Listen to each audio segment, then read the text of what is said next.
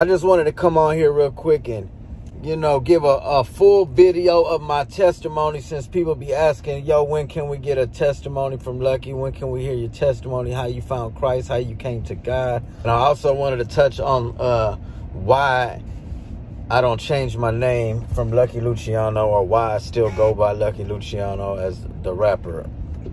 To answer that question is simple, is because if people just hear my new music, someone driving in the car and someone hops in and they hear uh, a song, my new music, but they don't know that it's Lucky Luciano. They just know it as my new name that I'm going by.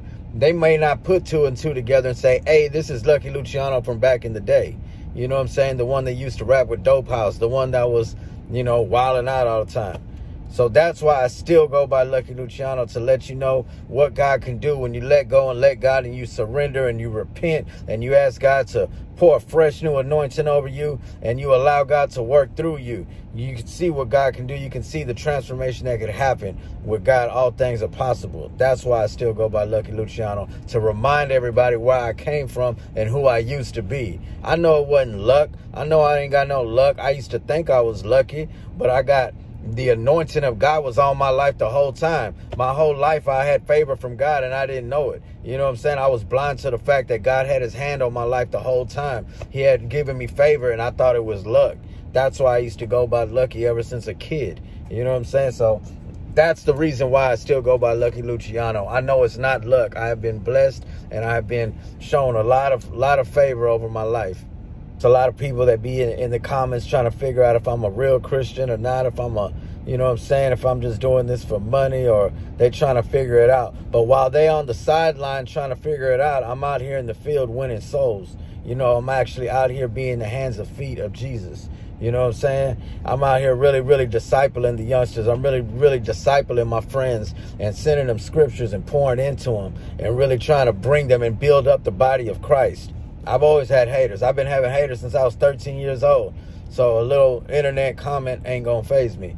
You know what I'm saying? I just wanna I just wanted to touch on that subject before I get into the full testimony. So ever since a young age, teenage years, I started um, smoking and drinking and you know, just being running wild in the streets at a very young age. 13, 14 years old, I was already out there in the streets acting bad. You know what I'm saying? Kicked out of school, um, going to juvenile, 13 years old, getting arrested, 14, 15, 16, just just wilding out. You know what I'm saying? Then by the time I turned 18 years old is when I met South Park Mexican and Dope House Records, and they took me on the road. So I was already, you know, used to sipping syrup and smoking and popping the pills and all that. Mind you, the SPM and Baby Bash and Grim and everybody that was around, they were a lot older than me. Not a lot, they were about 10 years older than me.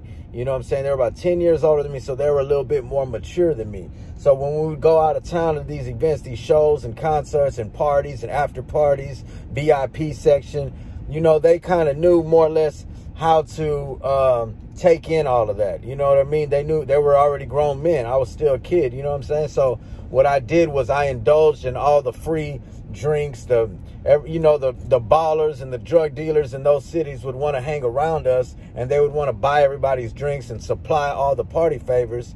And me being a youngster and a young young minded kid you know what i'm saying just indulged in everything. I would indulge in all the women all the money all the the alcohol the drugs you, you know you name it i did it you know what i'm saying? So as time went on and on and on from 18 to 19 to 20 21 23 by the time I'm 23, 24 years old, you know, it wasn't even really about the music no more. It was just about me partying and wanting to party every weekend, mess with girls and just just wild out. You know what I'm saying? And then I started um I started realizing I had a problem probably around when I was in my mid 20s, you know what I'm saying? When when I started realizing, you know, they stopped wanting me to come around to the concerts, stop stop getting invited to the parties, the after parties, the concerts. They didn't really want Lucky around because he was going wild out and they didn't know what I was going to do. Or I was the one that was getting kicked out of the club or, you know, just just acting a fool, you know, just just being very uh, belligerent, a belligerent drunk, you know, just like, hey, I'm Lucky Luciano, you don't know who I am, just all that, you know what I'm saying? Wilding out. And then um, I started wrecking my cars, man. I would get I would get, you know, money here and there from,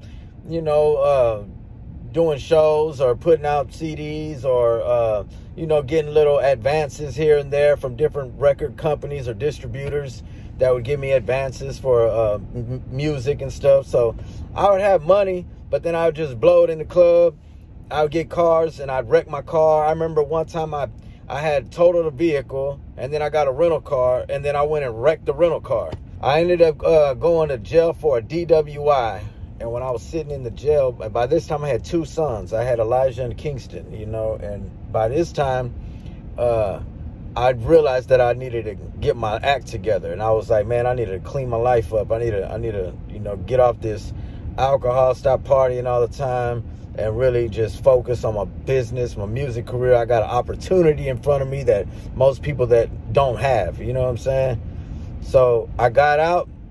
I was on probation for a year and they had me going to AA. I started going to AA meetings and that when you're in AA, the 12 step program, you have a sponsor and the sponsor's job is to basically read the AA book and uh, they they pray. They teach you how to pray and in AA, they don't teach you about Christianity or Jesus. It's more like you're praying to a higher power. So, but that's where I learned how to pray. Like they would literally get, tell you to get on your knees and pray. And then you got to do thing called uh, self inventory where you you write down a bunch of stuff about about yourself that you're holding on to things that uh, people may have hurt you or things that you just childhood stuff that you've been carrying along and try to figure out why it is that you're indulging in these drugs and alcohol. And you write it all down you make a list you crumble it up throw it away and you start making amends with people that you have hurt. Basically you're you're going and asking for forgiveness from people that you have hurt uh, and you're and you're also forgiving the people that have hurt you along the way. You know what i'm saying? So i did all that. I worked the 12 step program and then the 12 step is to start going out and helping other people you being a sponsor to other people. It's sort of like you know the christian walk. When you be you get discipled and then you become you, once you got it then you start going out and fishing for men and start becoming a disciple I mean, you start be, you start discipling other people. Basically, like the same thing. But I was doing that for a while. But the reason why I believe it didn't work, it worked for about 10 months. About 10, 11 months, I was sober. And uh, I and I believe it didn't work because it wasn't Jesus. It wasn't that Holy Spirit. It was just a higher power. I would still pray to God. You know, I always believe God and Jesus. You know, I went to church as a as a kid. I know about Jesus but you really didn't have a relationship with the Holy Spirit. I really didn't have that encounter with the Holy Spirit. You know what I'm saying? So it kind of like it didn't last that long. It faded away. I started drinking again, started going out. Next thing you know, I'm just back in my mess, you know, popping pills again. By this time, I'm already 30 years old. It's been going on for 10 years now. I started having more kids. You know, my kids are spread out from different baby mamas living at either their moms or my mom. My mom was taking care of my kids. Uh, they were living with their grandma basically while I was still ran the streets. I was in the club, you know, just being in the club, throwing money in the strip club. And, you know, it started uh, when I would go visit them or see them, I seen they weren't babies. You know, when they're babies, I was, you know, able to tell them I'll be back. I'm out working. But when they became five, six, seven, eight, nine, you know, years old, they know what's going on. They know that, you know, you're not working all this time. Like, what's up? Where are you? So I knew I had to make a change for them. And, um, you know, I, I, I tried, I tried, I tried, I tried to do it on my own, but I couldn't. Finally, I just prayed out to God, cried out to God, like, God, you know, you, you know my heart. You know I want to change. You know I want to be there for my kids. Can you please help me come into my life so I can change these change my ways and be a good father for my kids. That's all I wanted. I just wanted to be able to provide for my kids without living that lifestyle that I was living for because for my whole adult life, only way I knew how to make money was be out there in the clubs, doing shows and rapping selling verses and stuff. You know what I'm saying? Either that or sending girls to the strip club and selling pounds of weed here and there. You know what I'm saying? That's all I had been doing. You know what I'm saying? So I was trying to stay away from that lifestyle because I knew I didn't want my kids to grow up around that environment. So I prayed, man. I, I just prayed to God. I prayed, I prayed, I prayed. And I believe he made a way. He started working in my life when we started doing the YouTube vlogs. When we started doing the YouTube family vlogs and started showing, I got my kids back living with me. Me and Kelly got together and we started, you know, having a family and started making the YouTube vlogs.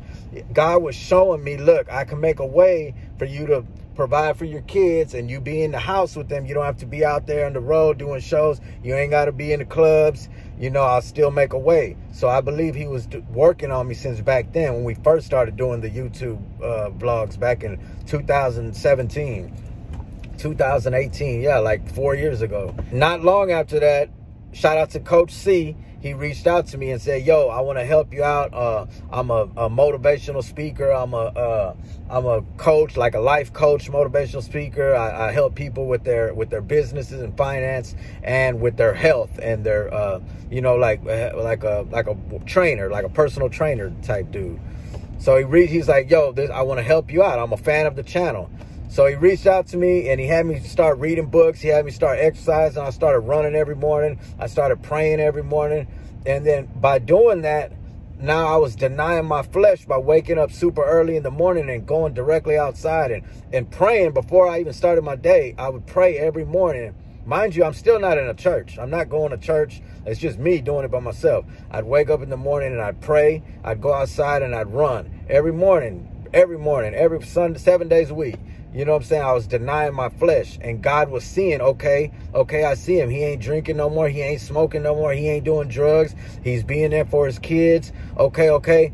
Now let me meet him halfway. And I believe that's when God met me halfway, when he saw that I was really willing. And when God sees that you're willing, he will come into your life and do something do something new in your life and transform you. But he has to see that you are willing. The Holy Spirit is looking for a vessel to work through. He's looking for a vessel to pour that anointing through. But you have to be willing. You have to be willing to repent of your sins and turn away from your sins and ask God to cleanse you and renew your mind and, and make you brand new and make you new and turn you around and put you out there into the world so they can see, hey, look at this dude, man. I remember him back in the day. Now look at him. Look how he's living now, man. Check him out. He's doing good.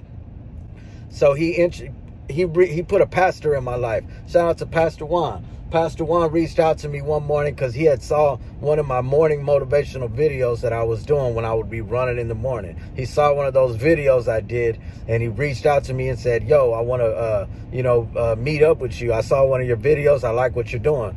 So we met up, and then he started talking to me about you know, the Bible and started talking to me about Christianity, started talking to me about discipleship. And he said, yo, just give me one year of your life. Let me get one year of discipling you. And, and if your life don't change, go back to how you were, you know what I'm saying? But let me just get one year. And he invited me to his church and we started going to his church on Sunday. We started, you know, we exchanged numbers. We started talking and building that relationship.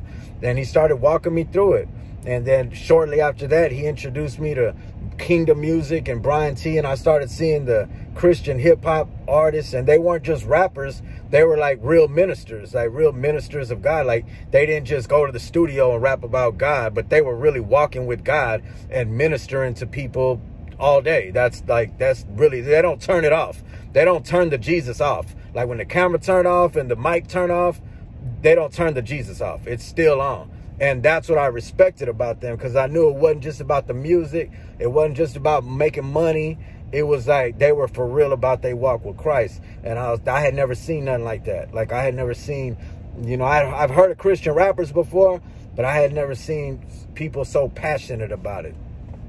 So, um, yeah, I started rocking with them. They, they, they started pouring into me. I started, uh, when I would go run, I started listening to the music man, uh, Young Bro, uh, Bryann T and Young Bro's music started ministering to me every morning when I'd go run.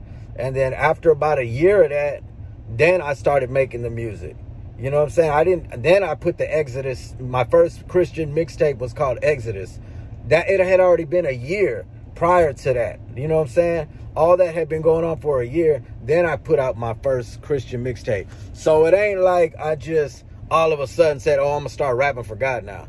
Nah, I was getting discipled. I was going to church. I was reading my Bible. I was that's why when you hear my music, you can hear the the gospel in it. You know what I'm saying? I ain't just rapping about God. You can hear my testimony in my music. You can hear the the the real word. I got the word in there. You know what I'm saying? I put scripture in my lyrics. You know what I'm saying? It's because I be in my word. You know what I'm saying? And I and I've learned by walking with God that faith and obedience is the key. You know, God wants to bless you and, and it ain't all about the blessings because there's a season for the blessings but if your life was just filled with nothing but blessing, blessing, blessing, blessing, we wouldn't need God's forgiveness, His grace, His mercy. You know what I'm saying? So God has a season to reward us, but then there's also a season where we go through the struggle and the pain and, you know, the hardships and the trials and tribulations, and we have to overcome those mountains. But that's when we lean on God and we ask for his forgiveness and his strength and his mercy. And we ask for God's grace and his goodness and his love. And we ask for his forgiveness. We have to break down and repent of our sins in the morning, face first, face down on the floor. You know what I'm saying? I still do that to this day. You know what I'm saying? Nobody, nobody is free from sin. I'm not sitting up here saying that I'm perfect now and I got it all figured out because I don't. I'm, you know what I'm saying? I, I still struggle. But I know with God's grace and with God's strength, I can overcome it all. You know what I'm saying? I don't put things that I used to put before the cross. Now I keep my eyes on the cross, man. I keep my eyes on the shepherd. You know, so if you if you abide in Jesus, if you stay rooted to the vine, you know, you you won't be sidetracked by the things of this world. You know, the Bible says, seek first, seek him first in his righteousness, and he gonna take care of the rest. Matthew 6, 33. You know what I'm saying? Don't worry about what you're gonna eat. Don't worry about tomorrow's worry. Today has its own problems. So all we gotta do is stay focused on the cross. And that's my testimony, man. I love y'all. God bless you, my brothers and sisters, in Jesus' name.